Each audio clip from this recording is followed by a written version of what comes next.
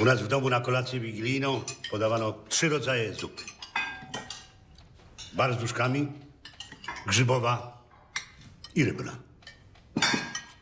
Bóg się rodzi, moc truchleje. Co, cukru? Dla męża w domu nie masz! misiu?